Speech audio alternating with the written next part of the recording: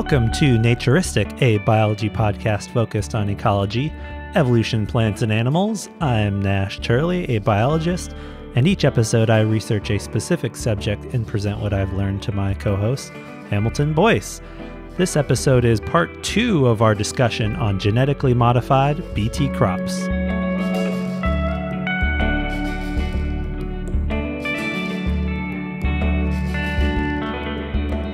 Hello, Hamilton Boyce. Hello, Nash Turley. For some reason, I had a plan in my head that I was going to go, Hello, Hamilton. well, you had the plan and you followed through with it, just not in the expected way. right. Uh, so we are actually um, talking one day after we talked last because uh, halfway through recording this BT episode, we decided it was going to be much too long and we're splitting it into two. So It's a two parter. anything thrilling happened to you in the last 13 hours or so? Um, well, I would say no. Overall, no. I did. Uh, I was gonna take your advice of like getting up early, go out on like do some exercise, go out on a bike ride. Instead, I stayed up till 4 a.m. working on a mix of a song. So kind of blew that one. But I did. I got up at like Yeah. a reasonable time, but I, I definitely did not pull off the uh, the early the early situation to turn my schedule around. But you know, you gotta just Yeah. try try what you can. I had the I had a similar issue because I, I think anytime after we record, I'm just sort of thinking about stuff and then I'm doing other things. So I was up later than I wanted to be and then struggled to fall asleep, but I still got up at 7:20 and was just like feeling horrible, but I was like, all right, if I go and walk, maybe I'll feel better and kind of did. Nice. Um, so I kept up with it, but I got to try to get to bed earlier to do the morning exercise. Yeah, you need uh, the trout. That's what Amy and I used as it like hit hit each other over the head with the trout. The trout, oh, is it like a stuffed, uh, like a It's pillow? it's like a hypothetical trout that you would like knock someone out with, like a Monty Okay. Python kind of situation. Okay, gotcha. So I had a experience. So I asked you if you had a recommendation for a high energy album to listen to, Oh yeah, and and um, yeah, I listened to. I, I it was like a compilation from some islands. It was like super funky kind of Afro-Cuban rhythms and stuff. yeah, Cabo Verde. and it's great. I I- like. I thought it's really cool, but it reminded me of a a thing that it seems like a lot of people want to say. If you're feeling, you know, upset or sad, you shouldn't listen to music that reinforces that. It'll just make you feel more. And basically, what happened is that music's really cool, but to me, it sounded really kind of upbeat and happy. And I was in like my morning phase of just feeling out of it and like sort of irritated. Right. So it was like just didn't work. totally. Um, so is that, do you feel like listening to music that reinforces is better for you or that counters your current emotional state? Yeah, I mean, I definitely am not the kind of person who's like, I'm feeling real bummed out, so I'm going to listen to some real happy music and it's going to like pull me out of it. Like, that definitely does not mm-hmm. work for me at all. Like, I'm just like, mm-hmm. what is this garbage? Go away, you know? Okay. Like, I definitely, yeah, I'm the same way. Like, I definitely need something that I can relate to more. And then if I'm relating to something, I'm like, oh, okay, there, you know, there's humanity in the world. And then I can like start to feel better. Yeah. But you know, it can be a little bit of a trap too. Like if you start listening to like super downer stuff for a long time, like I think that can probably have a, a negative feedback loop too. But that doesn't usually happen to me, I don't think. Yeah. I think whether how it like makes me feel different, it seems variable, but it, I just, uh, if I'm listening to something that doesn't, that's really counter to how I'm feeling, I just makes me not like the music. Totally. So, like, yeah, I think that's the, the biggest problem. Yeah. Like how I feel whenever I hear any kind of top 40 pop music. yeah. Right. I'm like, maybe this is great, but I'm not on the right, uh, not in the right state of mind ever. So I hate it. Yeah. I listened to, um, Gang of Four. Have you ever listened to them? Oh, Gang of Four. Is that like They're like a a 80s? funky punk band. Yeah. Yeah. I have heard them, but I don't know that I'm super familiar with them. So it had like the the funkiness to it, but it's got this like really hard, like aggressive edge to it, and then like you know lyrics about H bombs and stuff. Right. So I feel like that that was that was the good middle ground. Perfect.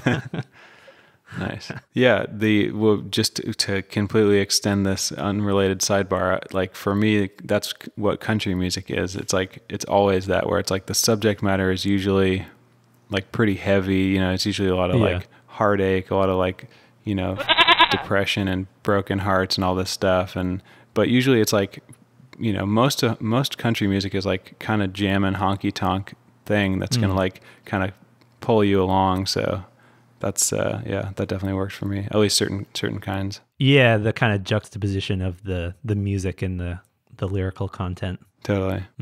Nice. So the juxtaposition we have to work with is bridging these two different episodes together. Right. So la- last uh, week or last episode, we covered plant domestication and insect pests or pests in general that impact crops. And that was sort of to build up to the idea of one of the new ways of um, dealing with the problems of pests on crops, which is genetic modifications, GMO plants, and a specific type of that called BT plants. So we have basically transitioning into our uh, conversation on where we pick up on talking about basically what is BT, what's this weird combination of letters, and how's that related to something in the world. right. Ready to do that, and we'll go now.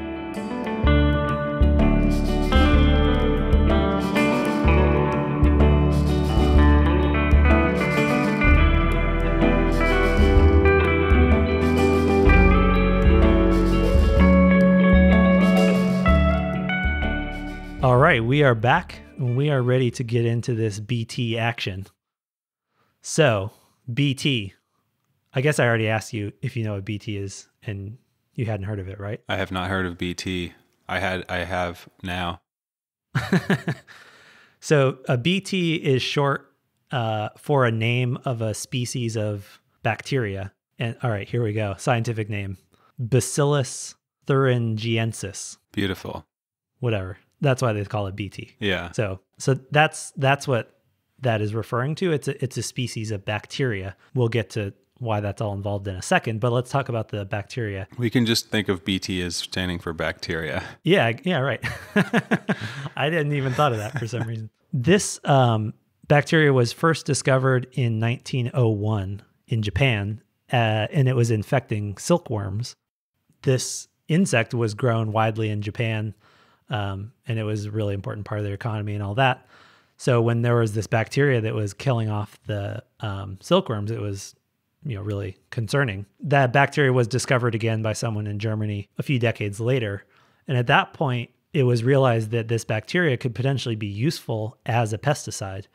And so in the 30s and 40s, there was beginning attempts to start using these bacteria in different, you know, growing them and stuff as a, a bio, a naturally occurring biopesticide to control um, various insects that fed on crops. Very cool. And so, uh, and this is just the straight use of that bacteria and products it makes are still used really widely today. And so, especially in forestry, so if there's like an outbreak of spruce budworm or gypsy moth, they'll spray this this bacteria even from helicopters and stuff to try to control these caterpillars. It's used really widely on organic farms and it can be applied to crops even right before harvest. hmm Is it like if what what happens if like a human eats it? We'll get there. Okay. uh, and it's used even to control mosquitoes in drinking water in like facilities that store drinking water. hmm I approve of that. Not excited about finding mosquitoes in the drinking water. yeah. yeah, I guess in that case it's it's less a problem that like it because it would be easy to filter out the mosquitoes, but it's probably more an issue they just don't want the standing water to be a source of mosquitoes for the people living nearby. Oh, right, I assume. Yeah. But having all those mosquitoes growing in the water probably causes problems to the water as well. Mm-hmm. So getting like mosquito sweat and stuff. yeah, Mos- Frass. Mosquito. yeah. Mosquito pee. What is there? Is there a biology term for mosquito pee?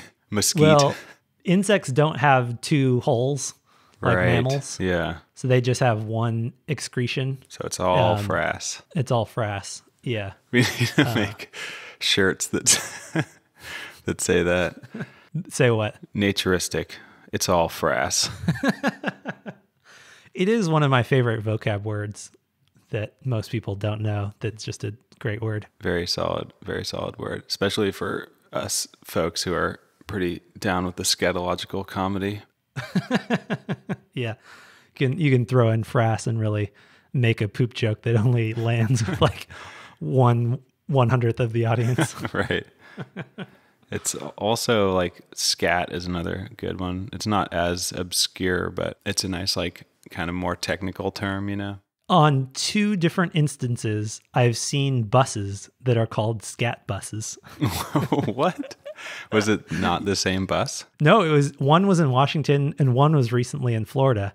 In Washington, I lived in Skagit County, and it was like Skagit County Area Transit. SCAT. Oh yeah. and I don't know what the acronym for the one in Florida was, but it was, I believe, the same acronym. Um, and it was also a scat bus. nice.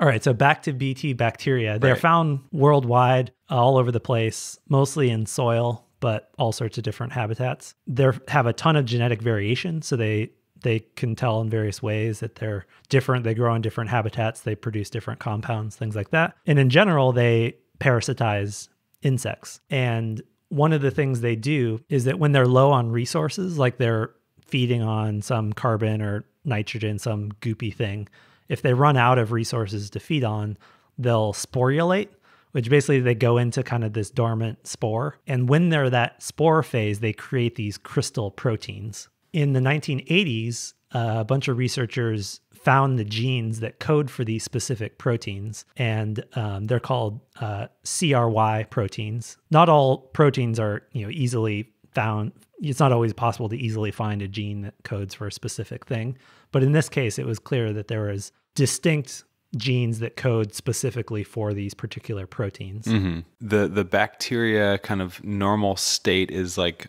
single cell organism, and then it then creates spores for reproduction, or it goes into a spore phase, or that part is a little bit blowing my mind. Yeah. So it's a spore in bacteria world. The spore phase is not necessarily for reproduction. It is confusing because that's like in ferns and things. Spores are like a re- dispersal.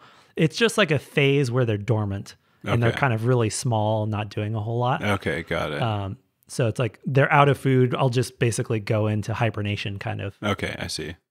And then, yeah, so when they're in that hibernating phase, they produce these crystal proteins, and those crystal proteins are, they basically kill a lot of insects, Le- uh, moths and butterflies, um, some flies, beetles, some things in the bee family, and nematodes as well, which are not insects. They're totally different. Yeah, so there's, and then there's a bunch of these unique proteins. You know, I mentioned there's lots of genetic variation. So these different uh, varieties of these BT bacteria producing all sorts of different types of these proteins. And so there's been over a hundred of these toxins, um, these BT uh, crystal proteins um, discovered so far. That's that's really insane. So this is still one, the one species of bacteria that's creating all these. Yeah. Yeah. That's so wild. I mean, there's so many species of bacteria.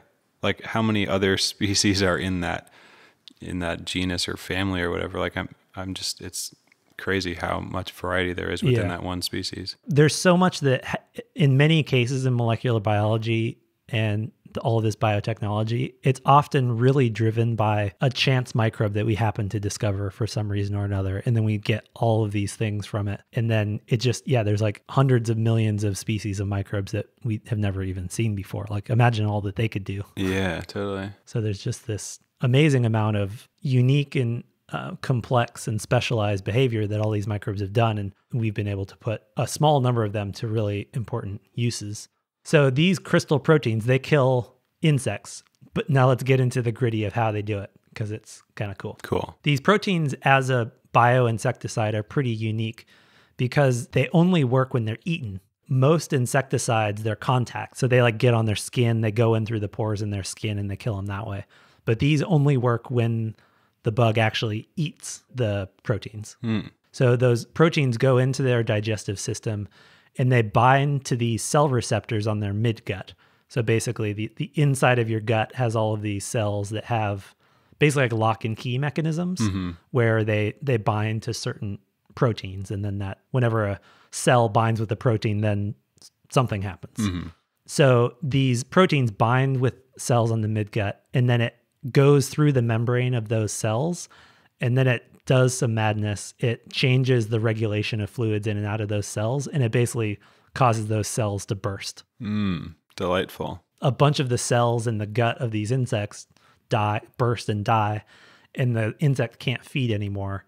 And eventually it stops feeding and it dies. Rough. So that's basically how these proteins work. And um, just to sort of recap, we've been using these proteins just as a as a sprayed insecticide since the 30s.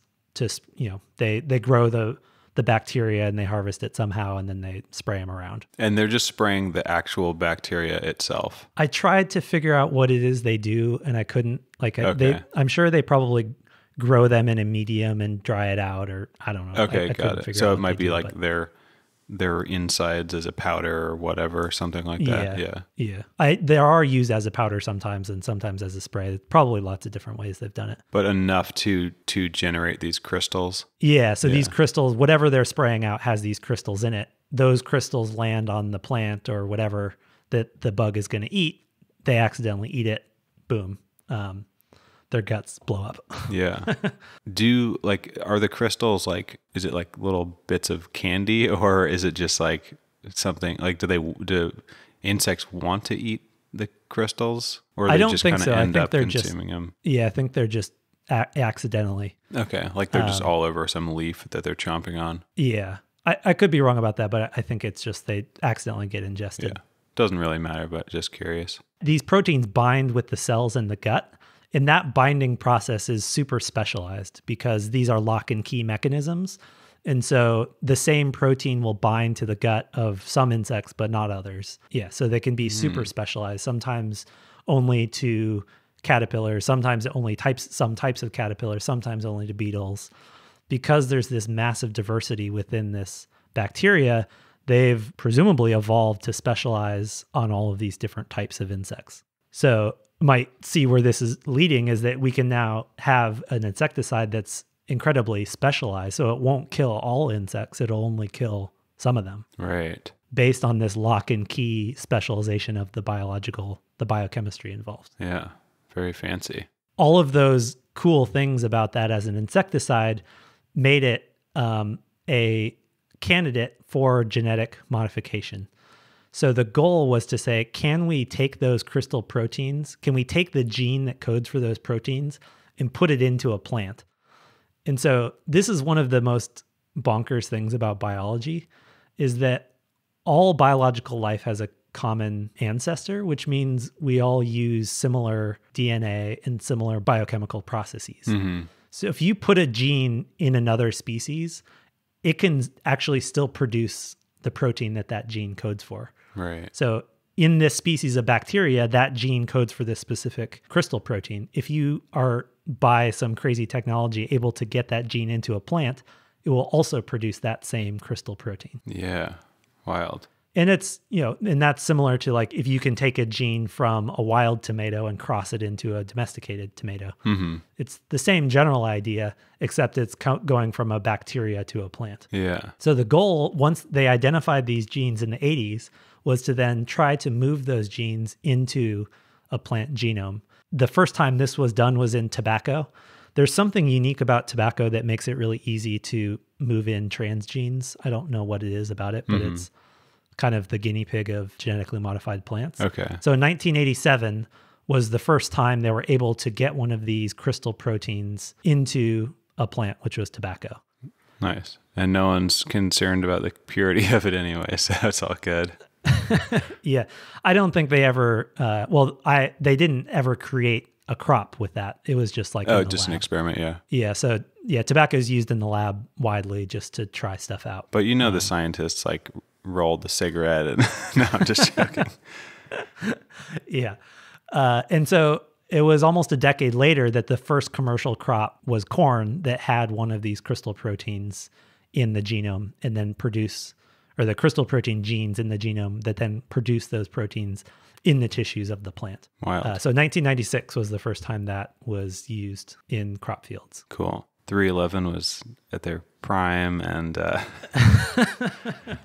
uh, I was I don't know. And they're from Omaha, which is, you know, big corn state. Yeah, man. Do we have a coincidence on our hands or do we have some kind of un like historical reckoning. I don't know.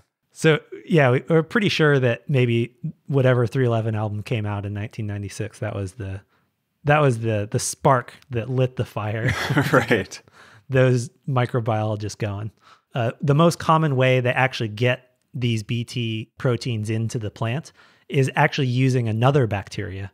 So there's this other bacteria that causes causes galls in plants. Galls. It's hard. I don't know why my mouth doesn't want to say that. G A L L S. Yeah, it's like a it's like a ball, but it's started got a G at the beginning. Yeah. Um, and have you heard of galls? I have heard of Familiar with galls, mostly probably from you.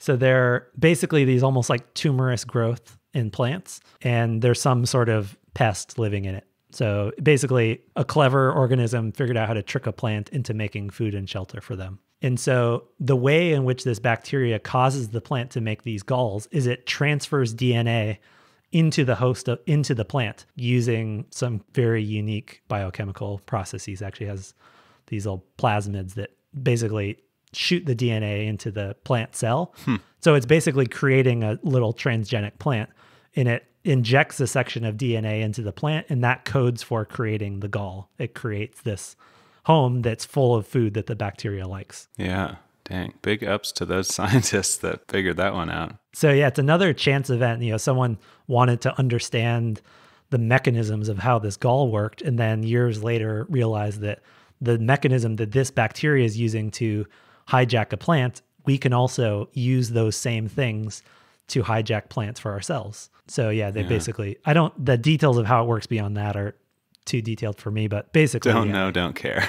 Yeah, and they they're able to get these genes, and they're stable in the plant. They're they're throughout the whole tissue, and they produce the crystal proteins in, as far as I know, the way they work now in all parts of the plant. That's cool. So does it does it like become part of the genome of the plant where like it's going to Yeah. pass it down to its progeny? Yeah, Wild. it's like a stable part of their genome. Yeah. So there's been now there's corn and cotton are the two biggest um, BT crops, and but there's also soybean, potato, and tomato. Cool. And uh, on the horizon, there's new eggplant and rice are coming soon. So this was kind of news to me. In 2020, in the U.S., 82% of corn grown was BT, and 88% of cotton was BT cotton. Wow. So it's it's you know the majority of those crops are now using this biotechnology. BT Cotton sounds like a like a blues singer.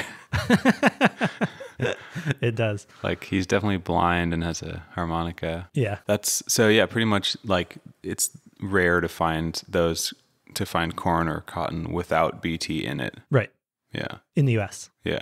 All right, so here now we we got a big uh, thing to tackle of the the the benefits of using these BT crops, and then we'll get into some of the potential uh, downsides. All right. So the benefits, probably the biggest one in my mind, is decrease insecticide use mm-hmm. because the plants have the insecticide built into them. They think over five years there was an estimated 1.1 billion pounds less insecticide use because of BT. And remember earlier we said each year there's what did I say, six billion That Pounds. sounds about right. so it's not like a massive change. It's like a fraction of one year's pesticide use saved. Mm-hmm. Uh, but that was over a time period where they weren't super common. They've recently become a lot more common. So Mm-hmm. But it was still like it was one billion. Is that what you said? Less. yeah, So it's still like Yeah. good twenty percent less. yeah, that was also added up over five years. Oh, got it. Yeah, so over five years there was a sixth of one year. Okay. so it's not huge yet. yeah. But that was only 1996 to 2011, which is before it's really taken off to become super common. So I think the potential insecticide decrease is larger. A more recent study found that um, BT corn had 48% less insecticide and BT cotton had 28% less. So in a smaller case study, it was close to half as much used on corn and a, a quarter less on cotton. And one study in India found that because of the use of BT cotton, there was an estimated 2.4 million fewer pesticide poisonings over a period of years, which kind of blew my mind. Uh, and when you say poisonings, is that like human poisonings or like what do we? Yeah, yeah. Okay. Like people getting mostly people applying pesticides often get poisoned in some way. Okay, so, So like there was like millions of people less got some level of pesticide poisoning. So it's That's- helping farm workers Yeah. because when it's just in the plant, it's not a, uh, you know, it's not hurting anyone. It's just in the plant. Yeah. So, and then another study found that it can not only decrease the use of insecticides on the BT crops, but also on nearby crops. And so, over a 40 year study in northeastern US, as the as BT corn became more common, that suppressed uh, some of the pests in the whole region. And yeah. so some of these are there's two moths that are really generalists and they feed on lots of different crops. They feed on corn, but they also feed on peppers. Mm-hmm. And so during that time, there were 78% fewer, a 78% decrease in the number of insecticide applications on pepper. And pepper wasn't even a BT crop, it was just Yeah. nearby. Oh, that's cool. You like if you've got a, a pepper that you really want to keep safe, you just plant like a giant circle of corn of BT corn around it, like bodyguards. So we're starting to see that there's potentially some some larger scale benefits even beyond the crop itself. And so um, the entomol- entomol- entomological society of America uh, had this to say: BT crops quote could facilitate a shift away from the reliance on broad spectrum insecticides towards more bio-intensive pest management and may reduce insecticide use. Very inspiring. yeah, fun language, huh? hey, they could have just been like, they're killing our friends. Right. It seems like whenever I find a quote, when I find it in the paper, it's like, man, that's powerful. And then I tried to read it and it's like just insanely boring and dry. I should probably just stop doing that. uh, sorry for um, raining on your parade there. No worries. I, I agreed as I was reading it. I was like, all right, I'm already You bored. fell asleep halfway through the quote. Uh, and they also thought that um, although they're giving a pretty promising outlook on BT crops, they also said that there should always still be a case by case analysis of the risk and benefits. right. We'll get to the risk in a second. So, a long term study on corn found all of those benefits were um, increasing the income from the crop. But to the farmer, it was decreasing pesticide use and decreasing greenhouse gas emissions. Because every time you spray insecticide, you're driving a tractor around burning fuel. Oh, yeah. So about they think about so far about five billion dollars uh, more income has come to farmers due to the use of BT crops, and most of that has been in developing countries where they maybe didn't have the mechanisms to spray insecticide or various other reason ways of limiting pest where these crops have been even a bigger benefit. Okay. So it's it is still it is fairly well used outside of the US. Yeah, it's it's variable. The EU's maybe one where the regulations are kind of more iffy and it's not allowed in some places, but yeah, Right. it is used widely. Yeah. And then another meta analysis found that in some cases, there's also a greater abundance of other beneficial insects around these crop fields. So those could be pollinators or predators of pests and things like that. That's most likely due to the decreased uh, use of broad scale insecticides. Right. Because as far as we know, for the most part, a pollinator is not going to be affected by these. Well, most of the time that seems to not be the case. And other predators are unlikely to be affected as well. Okay. Right on. So, okay, that was a bit of a scattered list of some benefits. Let's kind of cover some of the potential risks. Yes. They come in a few categories. So these can be, The anti-vaxxers are getting their notebooks ready. right, exactly. Um, so these can be some effect on other biodiversity. They can be gene flow, they can be food safety, or they can be um, evolving resistance to them. So we'll sort of get into those more specifically. So the gene flow thing is concerned. You asked before, like, is that part of the genome? Does it, you know, pass it to next generations? It is. And one of the concerns is that the genes we put into our crops could then be passed back into wild plants or weeds or other things. And so, just like we talked about before, where wild plants crossed into move genes into crops, the opposite can happen as well. So, Right. there are many crops that do have related wild plants that live around them. Mm-hmm. Whether they can cross or not is due to a ton of different factors, you know, pollen movement and weather and timing and distance and a bunch of other things mm-hmm. but especially in grasses, so grain, you know, wheat and corn and lots of other things, there's um, various wild plants that they could hybridize with. Right. And there has been one case in corn where they've seen some of these. Well, they've seen the BT protein shown up in non BT corn. So there's like local varieties of corn, and then some people's fields start seeing these BT proteins in them because they crossed in. So that's Yeah. going from one corn variety to another corn variety. Right.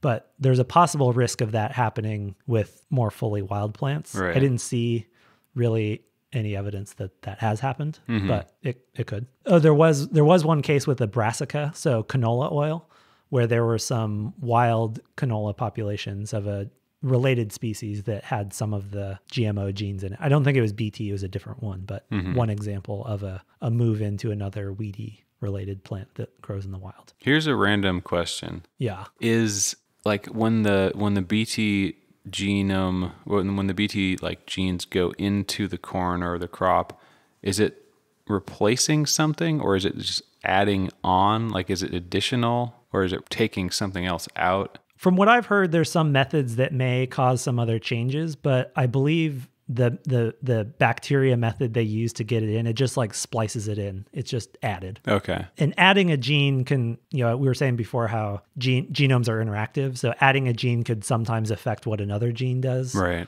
Um, but they're pretty specific genes. They just like code for this one protein. Mm-hmm. So they do a lot of testing for that. So it seems like it doesn't really affect the plant in any other way, except that they have these crystal proteins in their Mm-hmm. Okay. tissue. Word. So there's there's concern that some of the genes in GMO plants could create like weeds that are if you have a, a weedy plant that's a problem in agriculture, if it got this BT gene in it, maybe it then does extra well and it is a more problematic weed. Mm-hmm. I haven't didn't see any cases of that for BT. It's probably a bigger concern for the GMO plants that have herbicide resistance. But even without those BT cases, there's been over 200 species of weeds that have evolved herbicide resistance just on their own. Mm-hmm.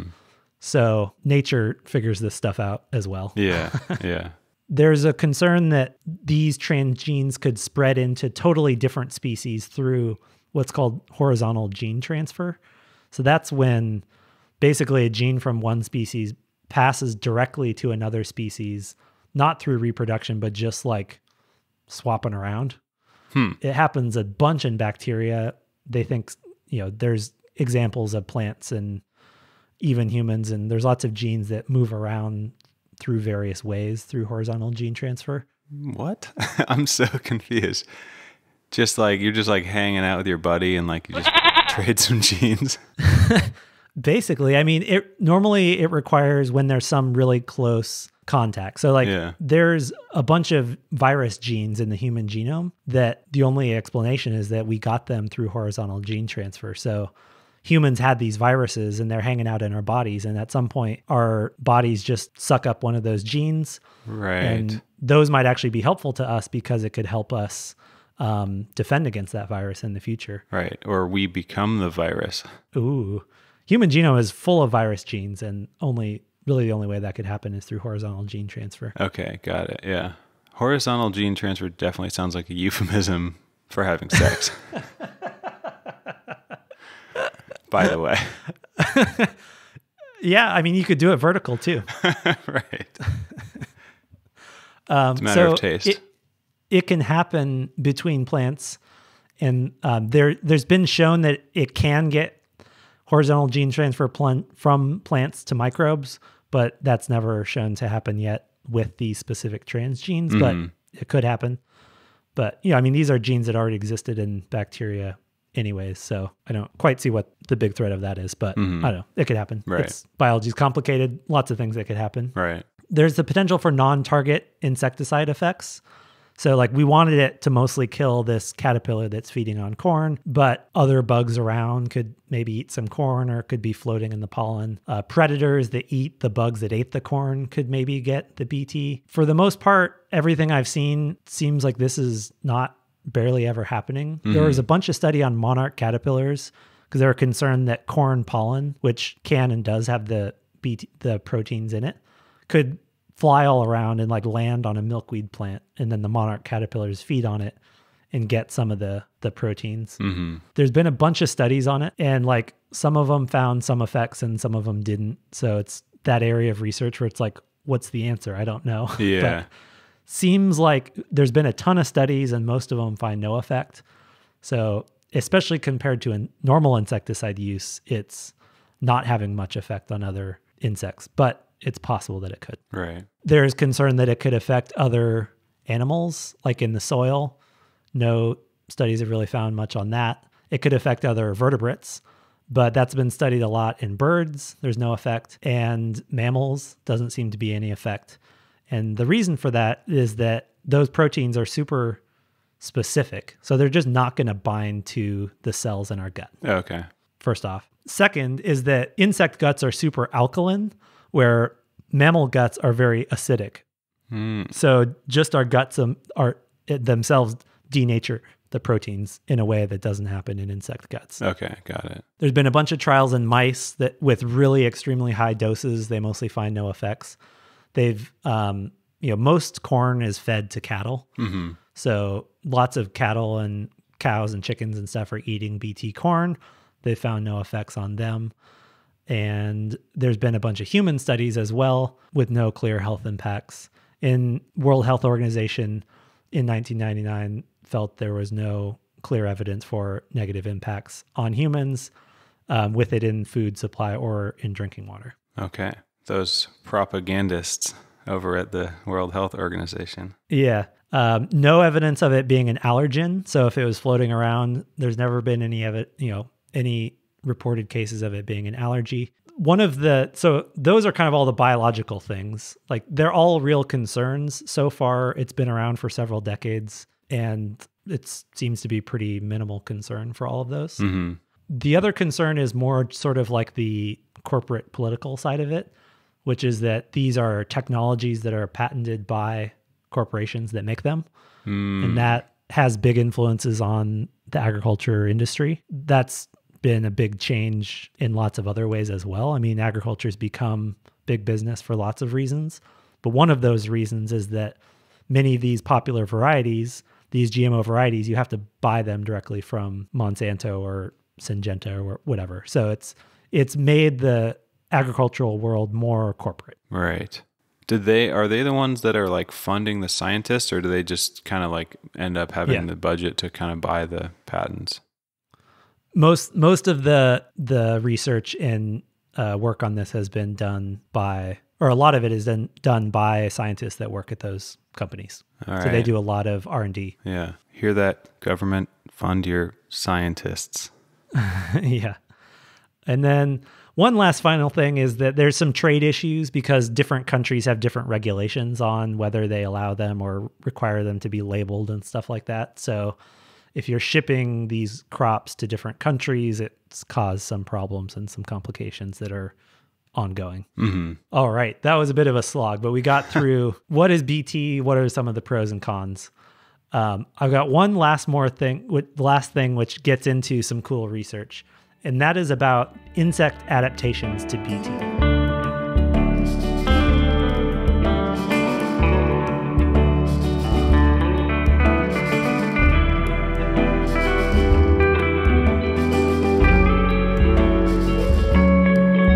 So, like every other insecticide, insects have evolved to overcome it.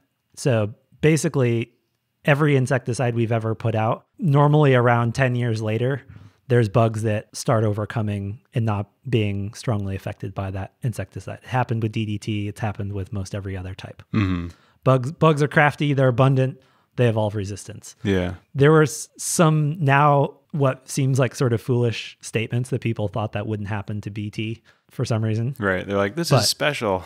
Yeah, but of course it did. So yeah. the first crop was in 1996. The first evolution of resistance documented in the field was in 2010 in India. So we had, you know, a decent run there where it thought people might be right. There is no evolution of resistance, but it happened, and now it's really increasing. So now there's one pest called the diamondback moth. There's now resistant populations in Central America, Florida, Japan, Philippines, Hawaii, China. It's evolved all over independently to uh, be resistant to BT. Yeah. And when you say that it's resistant, is it like some of it, like some individuals survive, or is it like all good, no problem? We can just chomp it down and we're all, we're going to survive 100% of the time. normally it's like they they you know a lot of times the the mortality was like almost basically nothing survived and then once evol- uh, resistance starts evolving then like some survive and then you know then it grows from there normally Right. it's not they're still affected by it Yeah. but like it doesn't suppress them completely like Right. it did initially And maybe like in another decade or two, it might just do nothing. yeah it- normally once it starts they get they they start overcoming it more and more Right. and so bt resistance has now evolved in nine pest species in six different countries No. and the rate is increasing. So, one number to sort of highlight that in 2005, there was only three cases of resistance, and in 2016, there were 16. So, like with most insecticides, the rate of evolution is increasing, and the time at which the when they introduce a new BT crop, the time at which they evolve resistance is decreasing as well. So initially it was more like eight years, and now it's more like two. oh wow. So it's it's speeding up and and one reason for that is called cross resistance. Once they're resistant to one of the crystal proteins, that may give them some resistance to a different one. And maybe something I didn't clarify before, all that variation in crystal proteins, they've then put in a bunch of different crystal proteins into crops. So it's not just one. Okay. They can they can create a new variety that has a different protein in it. And so the hope would be that, oh, well, we'll release a new one.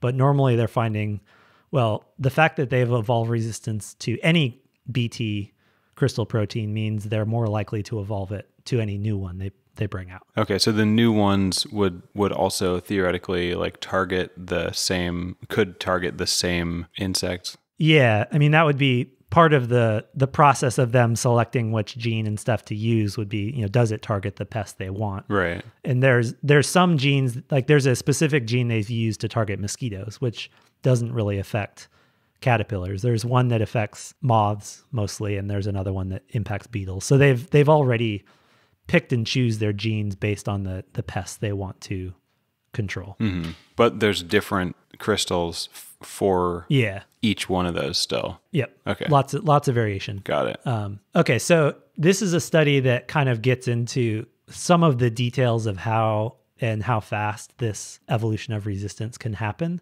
So this is called a selection experiment. Is that a does that does that term mean anything to you?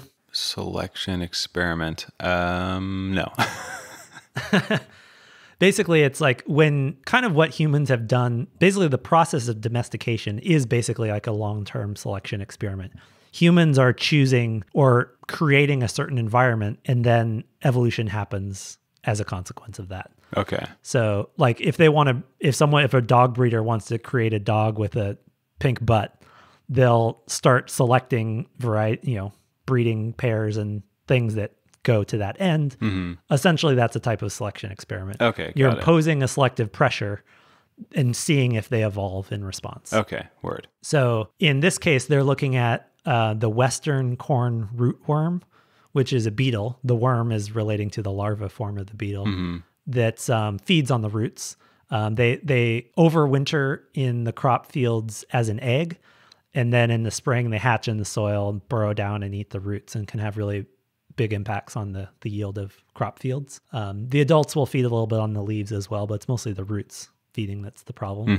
For a long time there's been some survival of these beetles on bt corn. So probably even when they first introduced bt corn there may have been some resistance in the population. But they've normally normally in the field for a long time it was like very few were surviving. So there was maybe some resistance in the field but not much. Mm-hmm. But it's become more and more of a problem recently.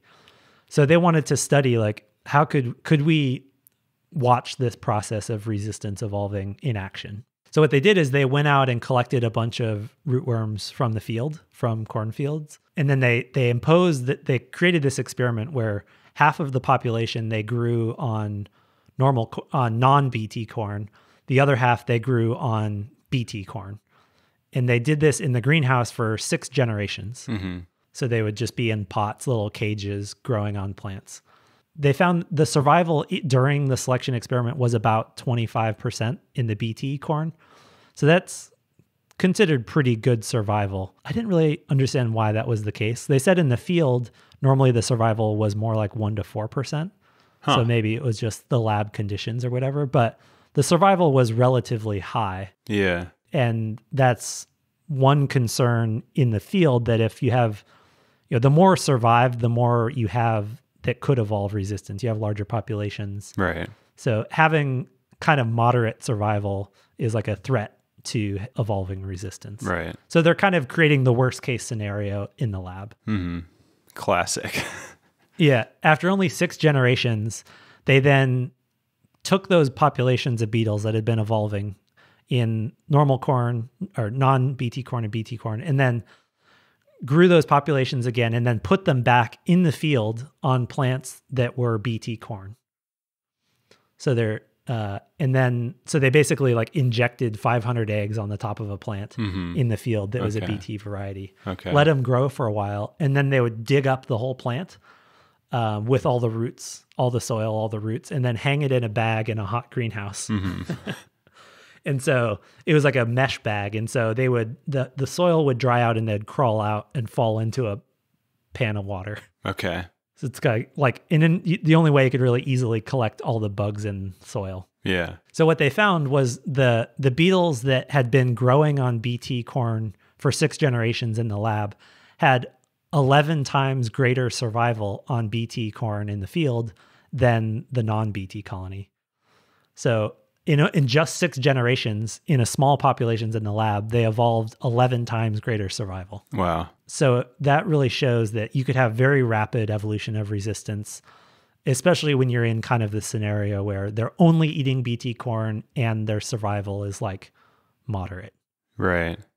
Yeah, and so this was also a case where the starting populations obviously had some resistance to begin with. So like it basically it shows that if you have in the wild, that's a scenario where you're at high risk of evolving strong resistance and basically overcoming your pesticide completely is when there's some resistance already available and there's a lot of them and they're like it's not killing them very much. Then you're probably going to evolve resistance very quickly. Totally.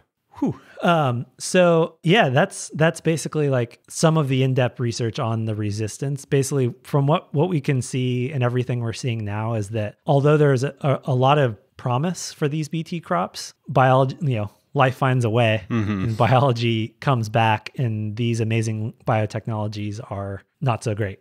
And so, but it, it's a, I think it's a pretty cool example where we could use some biotechnology to solve some really important problems. We need to grow food. Half of our food would be gone if we didn't keep the pests off. Mm-hmm. But we could do it in a way that seems to be safe and really cuts down on some of the environmental impacts of agriculture. Right. So, whew, that was that's BT crops and the evolution of resistance. Cool. How do you, do you uh, feel differently about genetically modified plants now? That's a good question. I mean, yeah, I, I had done a little bit of reading on it over the years, and my general feeling was kind of like, well, you know, I think it's probably not as bad as maybe some people make it out to be. Um, but at the same time, it's like, well, you never really know because you're kind of just messing with nature, and there's always just Yeah. like infinite variables that you can't really control for or know. Um, and learning about BT it kind of seems similar. Like I, I guess I wouldn't for my own personal health, like I wouldn't be too concerned about it. But just as far as like the ecosystem and just Yeah. kind of like if if you're gonna change the entire genetic makeup of like all of nature and then the pests that you're trying to fight against just sort of like develop resistance within like 25 years or something um, you know, is that worth it, or like are the are the downsides gonna come in and kind of outweigh the the benefits of it, or or are there really any downsides that are like worth thinking about, Yeah. or you know, I don't know. It's I would say it's complicated, sort of, and it's like kind of it's constantly this race between the you know between nature and and man, but at the, Yeah. at the same time, it's like it's sort of frightening, kind of what you touched on a little bit, where it's like the the Monsanto scientists are sort of the ones like leading the charge. So like if it gets increasingly complicated to fight off pests, then it's like you know if there's not government funding for scientists to be doing that research, then it's just all these like corporations and private that's like in charge. So it's like you know, maybe a hundred years down the road, it's like if you want to eat anything, you just have to, you know, pay like the the Monsanto tax or whatever. And other th- other than that, everything is just like a wasteland. I don't know, just sort of like worst case scenario kind of situation. I think it's it's tricky to to tease out the corporate side of it from the biology mm-hmm. because I think from the biology perspective, I still concerned like there the the potential risk are mostly like rare hypotheticals that could happen, but seems like they won't. But Right. like the longer things are out in nature, even something that's really rare and unusual is sort of bound to happen Right. it's like I mean, it's basically Jurassic Park. It's like, well, it seems like it's all good, but as soon as nature is out with all of its complexity and it's happening, chaos happens and something that we never predicted comes to pass. So Yeah. that's those really vague hypotheticals are always a bit of a concern. Right. I think when you see it from a biology perspective, some of those seem less scary when you see that we've been moving genes around for thousands of years and in nature genes are moving around all the time as well. Yeah, totally. So it's like not as crazy as it seems that we, you know, put a bacteria gene in a plant Right. when you sort of see it in the scope of of all of the wacky genetics that happens. Yeah. So that was definitely been kind of my I feel like that's the perspective that's lacking for a lot of people. They don't really Yeah, totally. see that what genetics is and how it works and that no matter what we're always going to be playing these back and forth arms races with pests. We just have to pick what tools we're going to use Yeah. and moving a gene around in this way is kind of just the next step in what we've been doing for centuries. Right. If horizontal gene swapping already exists in nature, then this is just a child's play. Yeah, for sure. And then, but then, but then you sort of balancing that with the the corporate side of it, because um, my, my- I had such a clear memory. I went to a, a march in um, Toronto one time. It was like a anti Monsanto march because something happened recently. I you know some, I forget what sparked it, but it was like shady stuff that Monsanto has done. I don't mm-hmm. have a, plenty of reasons to criticize those corporations. But then when I get get to the march, most of the signs and everything are all just about like I don't want flounder genes in my tomatoes and like basically just like all against the science and the biology. And I was like, oh, this isn't really what I showed up for. Right. So like those things are really tied together.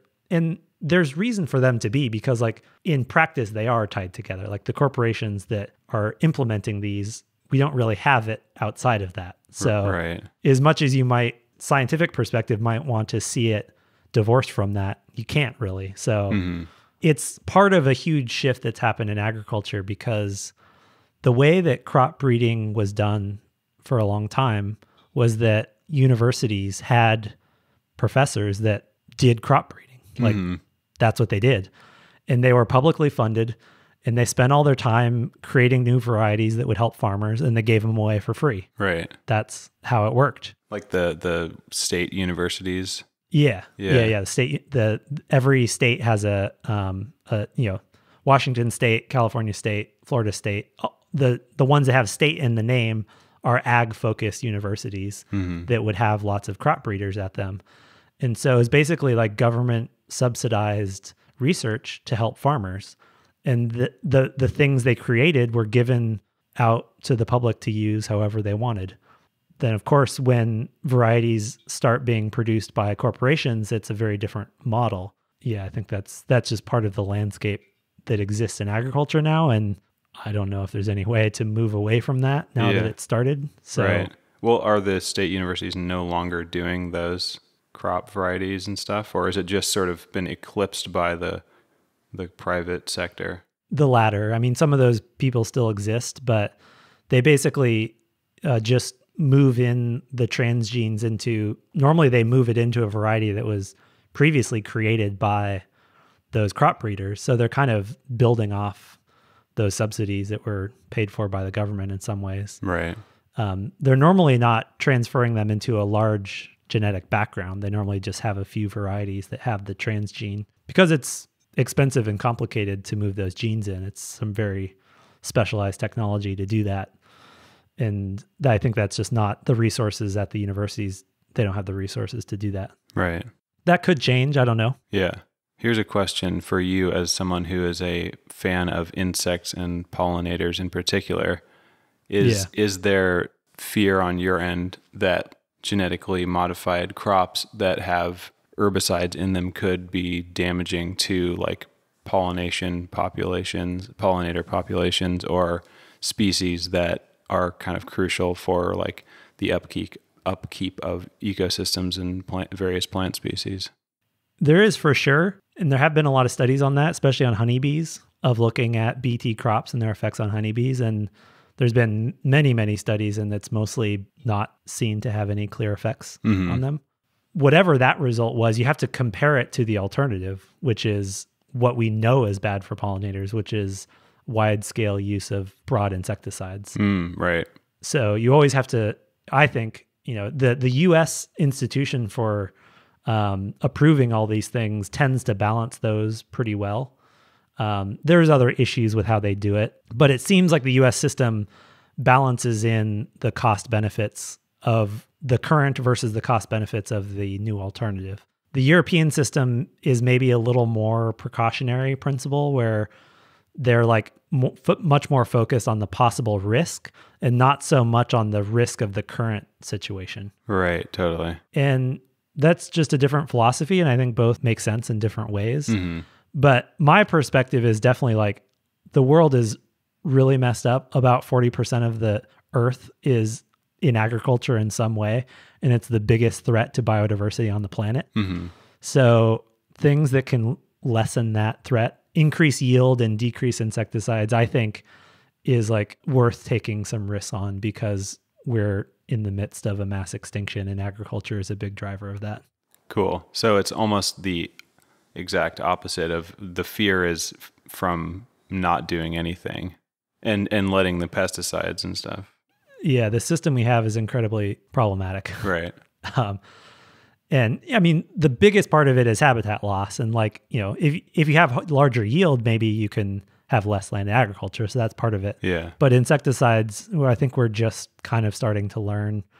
It's a hard thing to really know what effect they have, but we've seen really big declines in insects over the last, you know, one huge study found that insect populations, at least land insects, not in freshwater, are declining by about 9% every decade Dang. for the last so like add that up over several decades it's been a huge decline in the abundance of insects and Yeah. those are the animals that run the world that make our food possible that decompose our feces and like the world works because of them and they're dropping by 9% a decade it's very concerning Right. so it's it is unusual to say like a new technology that kills bugs could help that Totally. but when you look at the biology, it's like, well, it's a specialized protein that only attacks the guts of certain bugs and it's inside the plant, not being sprayed all over the place. Yeah, totally. So, yeah, more targeted, less destructive. yeah. And then I think the the excitement about all of that, you know, in the last few decades, I think that's why there was a lot of excitement because of all those potential benefits. Right. And then now we're seeing, well, of course, biology catches up. It's not the silver bullet. They're going to evolve resistance. We have to use all the same techniques to limit resistance that we did for everything else. Right. The race will continue. Like we can move new genes in. We can, you know, one of the things they're doing now is called pyramiding, where they do combinations of two different proteins and that in the same plant. That seems to be doing a good job of slowing the evolution of resistance because they have to overcome two different ones at once. Right. Totally. Um, there's a bunch of other techniques that seem to be working as well. One called refuges. Refuges. I don't know. I don't. Refugees. Re- yeah, refuges. I don't know. I think you know patches where you're not growing the BT crop okay. mixed in with areas where you are growing them. And for some complicated genetics reasons, that helps limit the evolution of resistance. And quite a few studies show that that helps. So there's, well, as we're learning some of these practices, there's ways that we can hopefully keep using these technologies in an effective way. Totally. But it's always going to be an ongoing cycle. That's why living in a world where evolution is true, you have to realize that things are always evolving. And that's one of the things we have to do to survive is Yeah. keep up with that evolution. right. I've always thought it interesting that lots of farmers see firsthand the impacts of rapid evolution.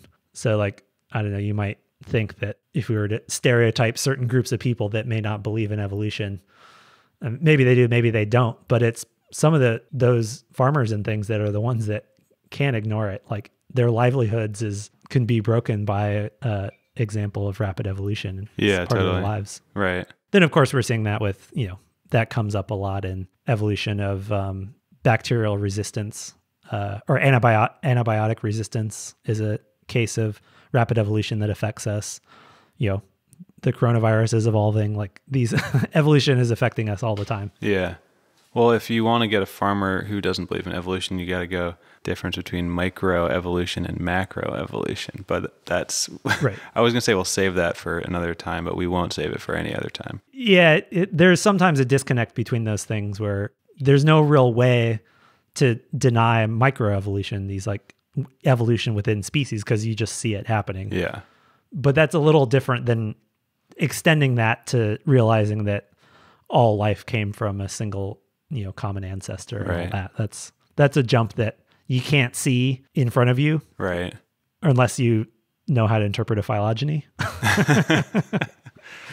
um, but it's still more abstract. I mean, you're looking at lines on a piece of paper rather than a bug eating your crops. So Right. it's it it's it's a I mean, that's essentially that was the jump that Darwin had to make to like make his great revelation make any sense. Like that was Yeah. extending that to being the origin of all life was the radical step. And you know, it's a complicated thing, but Totally. we know it's true. So, Right. Cool. Sweet. Uh, man, anything else? I think that uh, I think that does it for me, man. That was very educational. I, I went from zero to uh, I don't want to say 100, but zero to 75 on BT crops there. Cool. There, there's a whole different set of issues with Roundup Ready crops, and I find them a little bit harder to defend than BT crops. But that's there's different arguments for different types of crops, and everything I said for this type is doesn't apply to all other GMOs. Like they're different and they're specific, and so it's Yeah. even more complicated. Right. And we'll certainly see new types of GMOs coming up soon. coming to a Gonna be out there. Coming to a field near you. Uh, cool. I guess that's it. We'll uh, hopefully pick a, a simpler, uh, maybe slightly more entertaining topic for the next time. Right. That doesn't require going over 25 research papers. Yeah, maybe like baby elephants or something. Little I realize there's some sort of giant controversy in, about them. right. Cool. Well, thanks everyone. Um, all those references will be put up in all the places I can put them. So if um, you're a masochist and you want to look over that, then you can. I'll I'll uh, have the PDFs of those papers on the website and then uh, the description for the podcast and all that. Maybe some other boilerplate things we're supposed to say. I don't know. Follow, subscribe. Yeah. Cool. Well, thanks Hamilton. That was that Thank was, you, uh, Nash. Um, You did the we'll- work. be ready for next time and we'll see y'all then. Cool. Peace.